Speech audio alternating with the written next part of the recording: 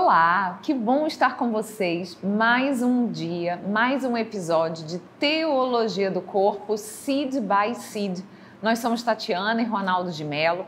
Nós estamos aqui diretamente da Casa São Francisco de Sales, da comunidade Sementes do Verbo no Rio de Janeiro. Nós somos da Pastoral Familiar e temos essa parceria bonita para poder trazer para você um pouquinho daquilo que a gente estuda, desse verdadeiro tesouro escondido da igreja que é a Teologia do Corpo de São João Paulo II. A cada semana, um pouquinho em doses homeopáticas para dar tempo da gente ir digerindo, absorvendo toda essa maravilha desse conhecimento sobre o amor humano, nesse conjunto de 133 catequeses. Estamos chegando já no finalzinho dessa nossa jornada, estamos no quinto ciclo sobre o matrimônio.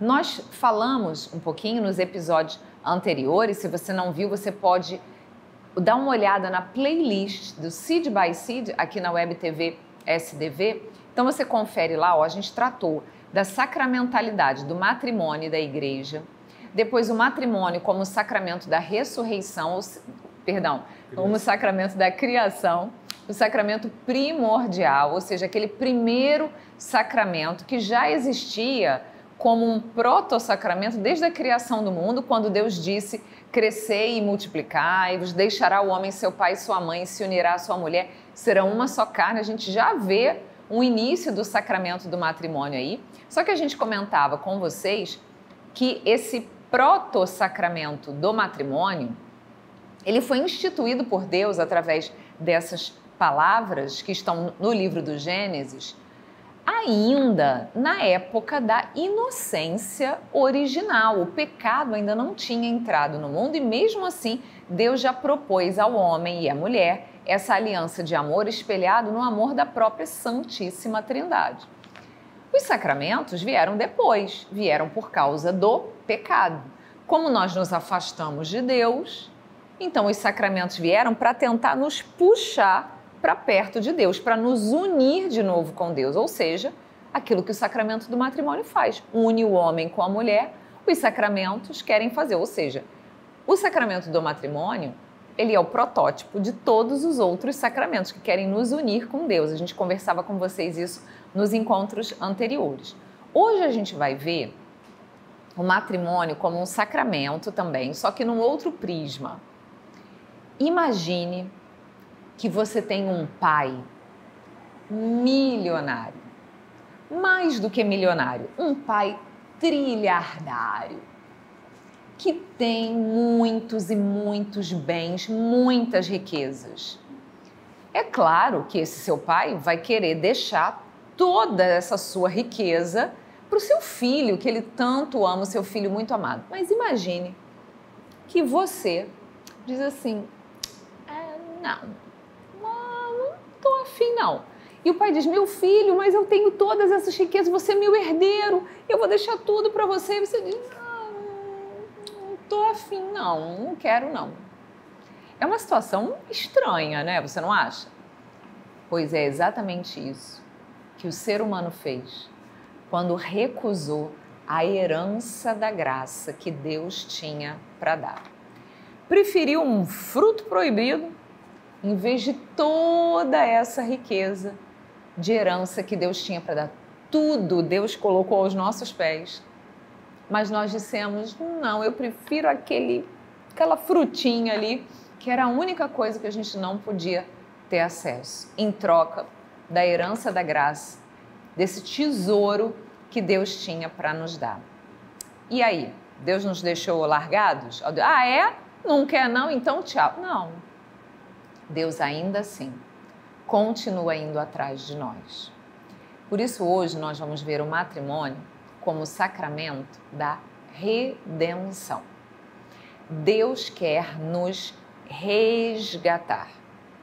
A redenção é trazer de volta, é pinçar a gente de volta para o convívio, para a comunhão, para a vivência, junto com o próprio Deus nós que nos jogamos, nos precipitamos nas garras do mal, do pecado e assim nos tornamos escravos do inimigo de Deus que nos seduziu, Deus vem nos resgatar. Então a gente vai entender Por que, que São João Paulo II chama o matrimônio do sacramento da redenção?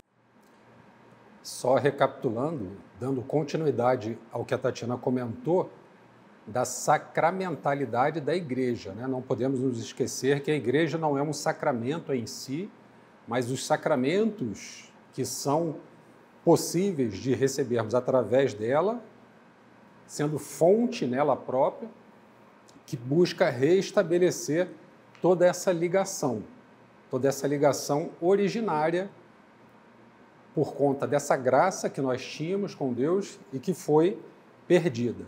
Essa graça que nós livremente, a gente comentava no encontro passado sobre a liberdade, Deus, ao nos criar, nos deu a liberdade.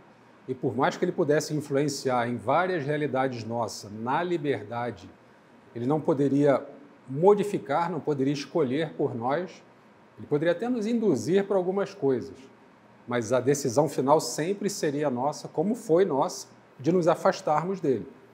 Por isso ele buscou de todas as formas possíveis, entregando inclusive o próprio filho, fazer com que a gente voltasse àquela graça original. Então a gente, ao perder essa graça, ao jogarmos fora essa graça de Deus, do que que nós abrimos mão? De uma união íntima com Deus. Foi a primeira coisa, um convívio aquele convívio de quem está ali e é próximo, é amigo, é parente, é alguém que está ali como um irmão, como um pai, uma mãe, a gente abriu mão disso.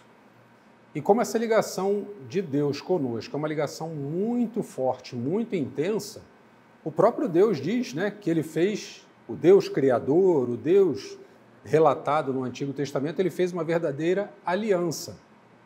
E aqui, quando a gente fala aliança, a gente pode fazer novamente esse paralelo da aliança matrimonial mesmo, de Deus com o seu povo.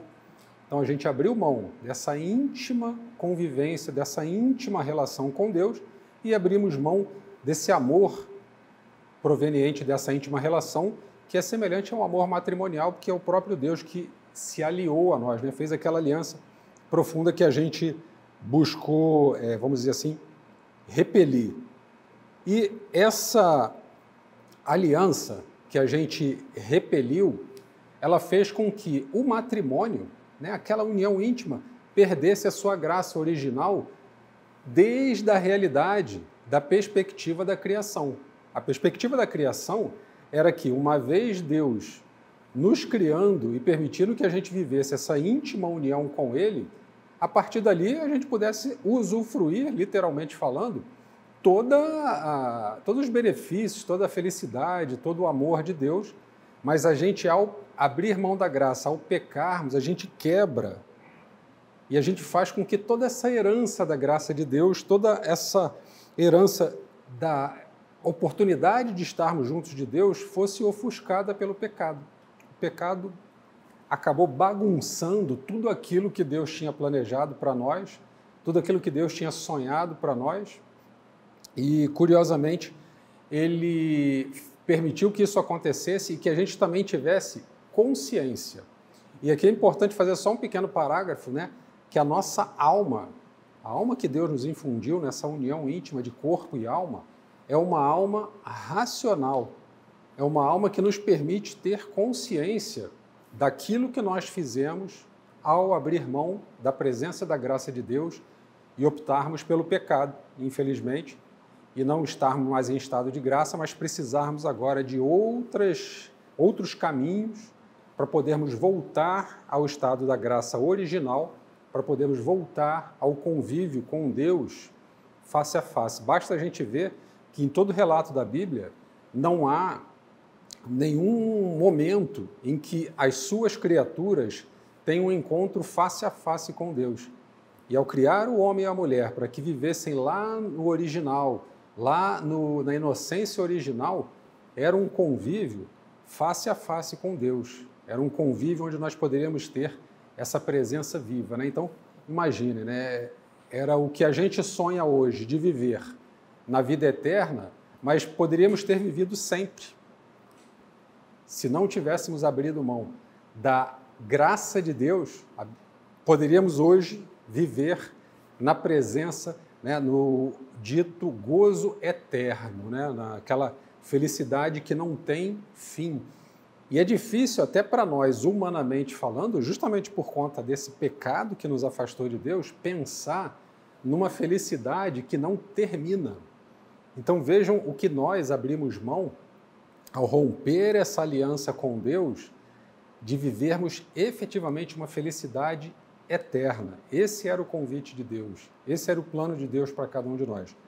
Para nossa sorte, o Deus que nos criou não perdeu a esperança e voltou, fazendo tudo que fosse possível para que a gente restabelecesse essa ligação com Ele. É, é verdade, tanto que o sacramento do matrimônio existe exatamente para isso, né? Ou seja, o matrimônio, essa busca da união e da comunhão do homem e da mulher no amor para espelhar o amor do próprio Deus, ela permanece na economia da salvação, ou seja, no plano de salvação que Deus tem para cada um de nós. Então, o matrimônio permanece.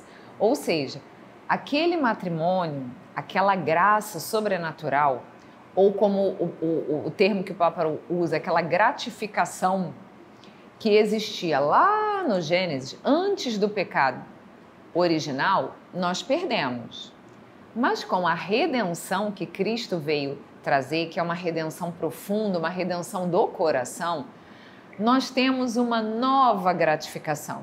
Então, o sacramento do matrimônio vem justamente nos ajudar a recebermos essa nova gratificação. A gratificação é como se fosse um prêmio, né?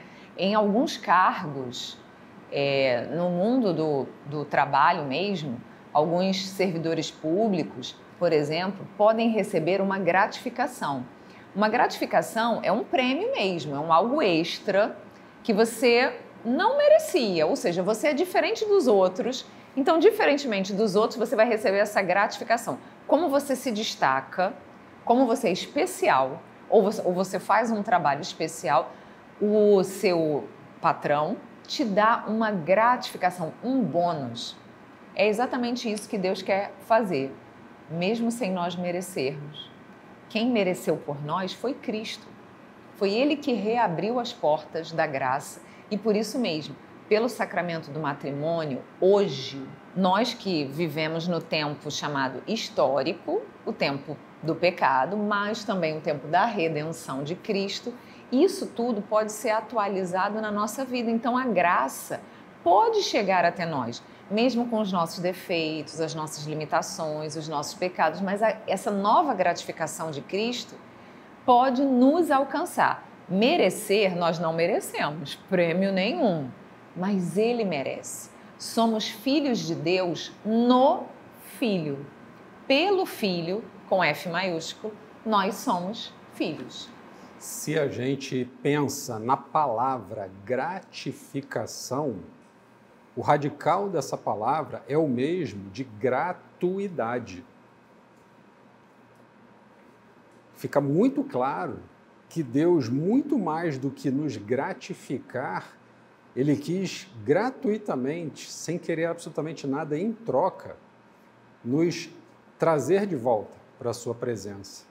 E trazer de volta para a presença, de fato, é algo que marca muito nós, enquanto seres humanos, que a gente fica até, por exemplo, quando estamos diante do Santíssimo Sacramento, estar na presença de Jesus sacramentado, estar na presença, esse foi o grande objetivo de Deus ao gratuitamente nos dar essa gratificação. Por isso que, como a Tatiana já falou em alguns encontros atrás, o matrimônio, o sacramento do matrimônio nunca deixou de ser aquela plataforma, aquele alicerce para que pudéssemos, a partir dessa união íntima com Deus, voltar ao convívio com Ele, voltar a estar na Sua presença.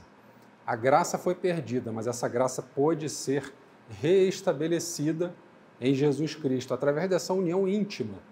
E tudo sempre espelhado por isso que o Papa São João Paulo II sempre toma muito como referência a epístola de São Paulo aos Efésios, porque É grande esse mistério, e aqui novamente esse mistério da união de Cristo com a igreja volta à nossa reflexão, porque é algo percebido e desejado por Deus desde sempre. É aquele mistério que nós falamos desde toda a eternidade presente na mente de Deus, presente na realidade, no sonho de Deus, por saber que nós precisaríamos, por conta do risco da nossa liberdade de querermos nos afastar dele, de voltar sua, ao seu convívio, de voltar à sua realidade. Então é importante a gente perceber que Deus não nos esqueceu e manteve a mesma forma de ligação que é nos, se unir profundamente a nós através do sacramento do matrimônio, claro, não do sacramento do matrimônio em si, mas dessa ligação íntima e profunda como a ligação matrimonial. Então, esse dom redentor que Cristo tem pela igreja e para a igreja, ele deve aparecer refletido justamente no sacramento do matrimônio a indissolubilidade do matrimônio, ou seja, esse vínculo exclusivo e para toda a vida, um vínculo verdadeiro, autêntico, que não se dissolve e que dura pela vida toda, deve ser exatamente um espelho desse caráter, desse dom gratuito, redentor, ou seja, desse Deus que se aproxima de nós e que quer nos resgatar. Uma vez lendo um livro sobre teologia do corpo do teólogo americano Christopher West, que nós já até indicamos aqui num, nos episódios mais para trás. Eu não lembro exatamente em qual dos livros foi, mas em um deles, eu acho que é no Encher esses corações, mas eu posso estar tá, tá errado de me lembrar agora. Mas num dos livros, o Christopher West ele usa uma imagem interessante Cristo nos resgatou, imagina que nós estivéssemos numa fossa, lá no fundo, mergulhados, morrendo afogado na fossa dos nossos pecados, na podridão dos nossos pecados, nos afogando ali, engolindo aquilo tudo e sendo consumidos por isso.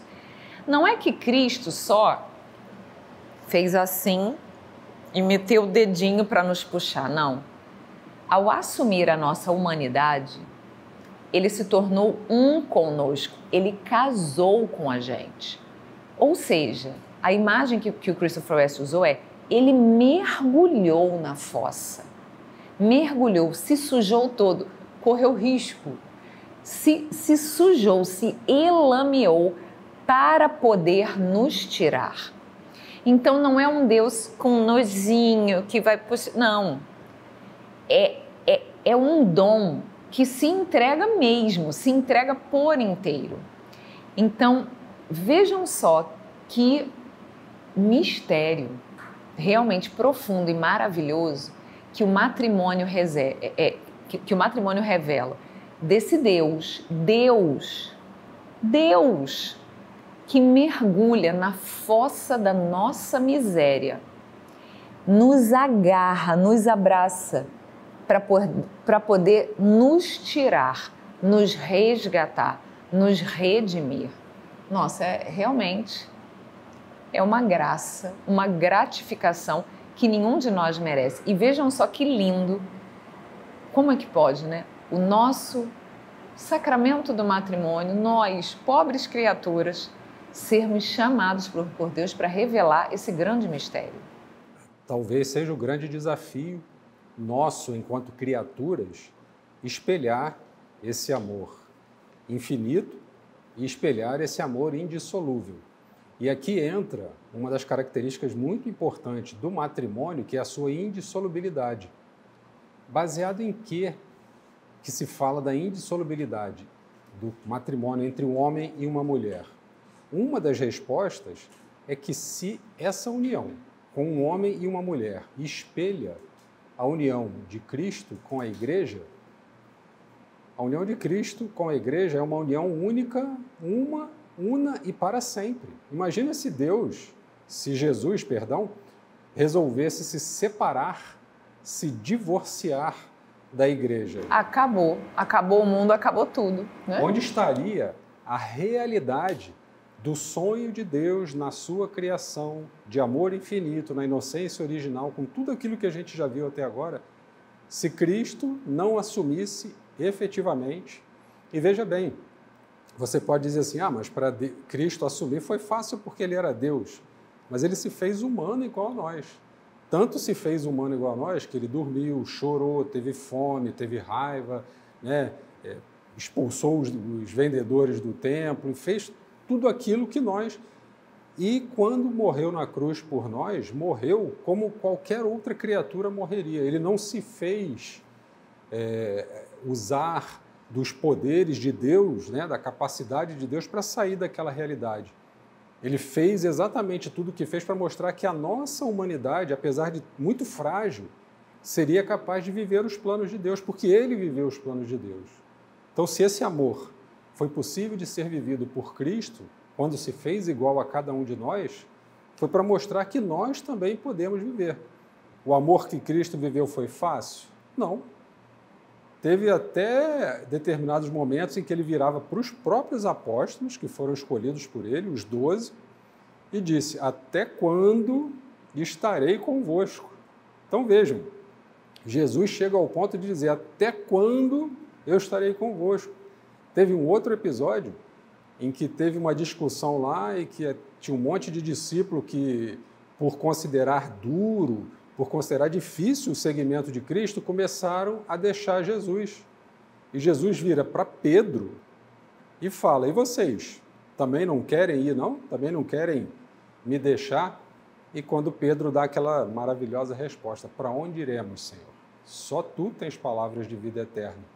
Então vejam, o amor vivido por Cristo na terra, esse mesmo amor difícil, foi amor que enfrentou todas as dificuldades que qualquer realidade humana poderia enfrentar, mas ele seguiu amando até o fim. Se o sacramento do matrimônio se propõe a ser esse espelho do matrimônio de Cristo com a igreja, ele também precisa espelhar esse desejo de amar e, e saber enfrentar todas as dificuldades para colocar o amor acima de tudo. Lembra que a gente viu em alguns encontros atrás? O amor, a entrega de Cristo pela igreja, do esposo pela esposa, não é simplesmente para a felicidade, mas é para a santificação. Quanto mais nós vivermos esse amor de entrega, de amor incontestável, de amor que não põe barreiras, de amor que não põe concessões, de amor que não põe limites, essa é a grande receita do amor de Deus se espelhando no nosso amor na vida matrimonial, na vida do relacionamento entre um esposo e uma esposa. Nós podemos encerrar o nosso vídeo de hoje com essa bonita oração da alma de Cristo. Você vai ouvir, você pode cantar, rezar junto com a comunidade Sementes do Verbo. E na próxima semana, mais um encontro de Teologia do Corpo, Seed by Seed, falando sobre o matrimônio.